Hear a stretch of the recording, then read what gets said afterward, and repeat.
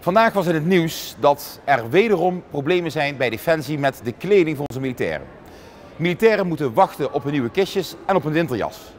Het kan niet zo zijn dat onze vrouwen en mannen van de krijgsmacht, die hun eigen leven in de waarschaal stellen voor onze veiligheid, dat zij zich af moeten vragen of er wel voldoende kleding is voor hen. Daarom heb ik vandaag namens het CDA vragen gesteld aan de staatssecretaris om te vragen hoe dit nu weer mogelijk kan zijn, of zij dit direct op kan lossen en of ze ervoor wil zorgen dat dit nooit weer gebeurt.